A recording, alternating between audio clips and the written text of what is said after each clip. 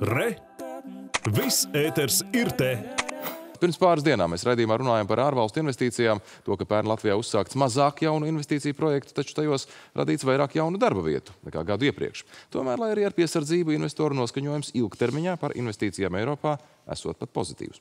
Bet kā Ukrainas kara un dažādu ekonomiskās situācijas sarežģījumu konteksts ietekmē uzņēmējus, kas darbojas tepat Baltijā, par lielākajiem mazo un vidējo uzņēmumu izaicinājumiem un mūsu ekonomikas riskiem kopumā, tagad saruna ar SEB bankas valdes priekšstādātāju Ievu Tēteri. Labrīt! Labrīt! Labrīt. Mēs eh, noteikti varam runāt par visai svaigu sev veiktu aptauju, kas būs arī mūsu atspērienu punkts šajā sarunā. Eh, Māja beigās un mēneša vidū aptaujāt vairāk nekā 2000 uzņēmumu visā Baltijā. Galvenais, ko tas iezīmē, kā jūs teikt? Kāds ir tas noskaņojums mazo un vidējo uzņēmumu vadībā pašlaik? Nu jā, kā jau jūs teicāt, mēs veicām aptauju nu pat māja vidū, un mēs varam salīdzināt to aptaujas rezultātus ar līdzīgu aptauju, ko mēs veicām janvārī, kas mums ir tāds regulārs atspērienu punkts, paskatīties, kā jūtas mūsu mazie vidējie uzņēmumi. Un šoreiz tās atšķirības starp janvāra rezultātiem un rezultātiem tagad maijā ir diezgan būtisks. Un uh, primāri droši vien jāsaka, ka mazie vidējie uzņēmumi Latvijā, visā Baltijā jūt, ka uh, gads ir iezīmējies diezgan tāds izaicinošs un um, ir uh, lielas gaidas, ka samazināsies apgrozījums. Tātad faktiski mēs uh, jūtam, ka uzņēmēji ir nobežījušies, ka biznesa apjoms saruks. Latvijā pat uh, 60% uzņēmēji tagad maijā saka, ka viņu apjoms, biznesa apjoms saruks. Nu, uh, Igaunijā, Lietuvā diezgan līdzīgi, ja mēs runājam par uh, vairāk kā pusi no uzņēmējiem. Un tos izaicinājumus galvenokārt, ko min primāri noteikti, tā ir enerģētika, enerģijas cenas, enerģijas pieejamība. Otrakārt, es teiktu, tās ir piegājušas ķēdes, jo uzņēmēji ir ļoti atkarīgi no starptautiskajiem tirgiem, arī no mūsu kaimiņiem, Krievijas, Baltkrievijas. Un treškārt, kad tāds varbūt uztraucošāks Jautājums ir par to, ka nu, jau uzņēmēji arī min, ka uh, sākas rēķinu apmaksu kavēšanās, ja, un kad arī viņu likviditāte tiek ietekmēta tieši mazo vidēju uzņēmumu um, jomā. Mm -hmm. Kā starp citu šādas nu, gaidas par to, ka būs sliktāk, jo nu, skaidrs, ka tas virmo visu laiku un visi par to brīdina. Kā tas spēj ietekmēt nu, teiksim, to realitāti, tos nākotnes plānus, pašiem uzņēmējiem saprast, nu, kā tagad funkcionēt, ko darīt, vispār domāt par kaut kādu attīstību, savilkt galus kopā? Man liekas, ir jau ļoti saprotami, ka mēs esam piesardzīgāki un kad ieejot krīzē, visiem gribās uh, rīkoties tā, lai neuzņemtos papildus riskus.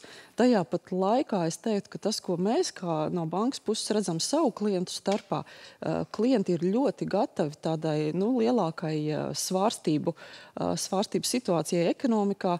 Uh, krīzei, ja, ja mēs vēl varbūt par to tā nerunājam, bet pie tādas piezemēšanās, jo mēs redzam, ka uzņēmējiem ir ļoti laba likviditāte, ir uzkrāts diezgan liels likvīds aktīvā apjoms. Tāpat mēs redzam, ka Latvija Eiropas ietvaros ir ar vismazāko aizņemšanās slogu. Ja? Vismazāk mēs esam aizņēmušies pret to, cik mēs saražojam Latvijā. Līdz ar to es teiktu, ka mēs esam gatavi, bet, protams, ka piesardzība, piesardzība pastāv. Un arī aptauja liecināja, ka uh, arvien mazāk uzņēmēji ir gatavi jauniem pro, uh, projektiem, investīcijām. Bet te man atkal, protams, gribās aicināt uzņēmējus un, un aktīvo Latvijas sabiedrības daļu domāt par to, ka jā, šī um, satricinājums ekonomikā un šī patreizējā situācija jau nav īstermiņa. Es domāju, mēs tagad ieejam tādā diezgan ilgtermiņa um, situācijā, kur būs grūti, būs nenoteiktība. Tā pati enerģijas cena noteikti paliks augsta arī ilgāku laiku. Līdz ar to tam būtu jāgatavojas nu, tādam ilgtermiņa, ilgtermiņa pārbaudījumam. Un tādēļ man liekas, tādas investīcijas, kas palīdz uzņēmumam kļūt efektīvākam, mainīt varbūt enerģijas izmantošanas veidu, radīt kaut kādas iekārtas, kas, kas ir taupīgākas. Ja? Es domāju, ka visus šādus projektus noteikti vajadzētu realizēt tieši tagad. Mhm, tad varbūt nevis pavisam iesaldēt investīciju ieceres, bet uh, nedaudz pielāgot tās situācijai, tieši fokusējoties uz tiem sektoriem, kas ir saistīti ar tādu nu, pašu, um, pašu darbības uh, stabilizāciju. Tieši tā, ļoti pārdomāti. Es domāju, uh, gatavojamies tādam ilgtermiņa, nu, grūtākam periodam, ja, lēnākai izaugsmai. Un līdz ar to pārdomājam savas investīcijas. Kā ir ar kreditēšanu, starp citu, šajā laikā, ņemot vērā to, ka mm, arī Riski augstāki. riski augstāk. Jā, mēs varam sagaidīt arī, ka centrālo banku likmes atkal kļūs negatīvas, zinot, ka ekonomika tomēr nu, diezgan buksē, cenas savukārt strauji aug. Tā kā Es nezinu, vai mēs par stagflāciju vispār varam runāt šobrīd vai nē. Kāda, kāda ir šī nu, tāda, tāda slidenā situācija. Cenas kāpj uz augšu, bet tas nav tāpēc, ka ekonomika rūkdam attīstās. Es domāju, ka tas ir tas, kas droši vien visvairāk baida, ir šis vārds stagflācija, kad uh, inflācija aug, ekonomika savukārt piebremzējas vai varbūt pat sarūk. Uh, bet patreiz mēs redzam, ka pirmajā ceturksnī, ja mēs salīdzinām ar uh, iepriekšējā gada pirmo ceturksni, tad Latvijas uh, koprodukta pieaugums ir vislielākais starp Baltijas valstīm. Nu, jā, mēs, protams, varam meklēt attaisnojumus, kāpēc, bet tomēr patreiz ekonomika joprojām aug.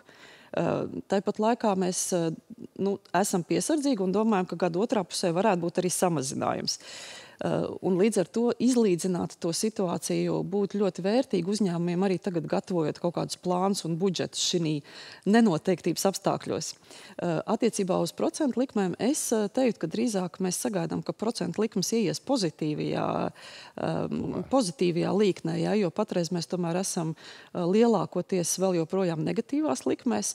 Un Ieejot pozitīvajā mm, līknē, tas nozīmē, ka arī kredītu cena iespējams pakāpeniski varētu augt.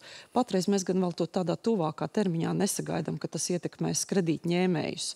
Un joprojām es uzskatu, ka kredītu uh, cena noteikti ir Eh, zemākā eh, iespējamā un ir ļoti laba priekš investīcijām.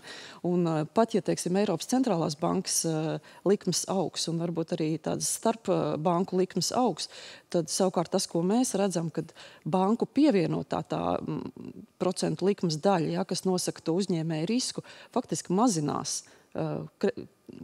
Konkurence ir ļoti liela. Uh, jo tie uzņēmēji, kas aizņemās, ir ļoti labi uzņēmēji, par viņu, uh, par viņu sadarbību konkurence ir liela un līdz ar to pievienotās likmes būtībā samazinās. Tā kā tā vide, aizņemšanās vide ir ļoti uh, nu, laba un izsvērta. Un arī šī aptaujā, jautājot uzņēmējiem, mēs redzējām, ka tikai apmēram 3% no uzņēmējiem saka, ka ir problēmas ar aizņemšanos, kas ir ļoti nebūtisks rādītājs. Mhm. Jā, mēs sakām lielu paldies eh, par šī rīta sarunu. Droši vien par šo tēmu mēs vēl turpināsimies un tiksimies, jo, kā, kā jau secinājām, tad nezināmo ir daudz. Eh, bet, bet paldies arī par ieteikumiem un padomiem. Gan jau kāds arī sadzirdēs un tiešām apdomās, ka šis ir laiks varbūt ne tam ierastiem, bet kaut kam citam. Paldies, paldies liels! Paldies! paldies. Jau TTRC bankas valdes priekšsēdētāji šeit bija rīta panorāma.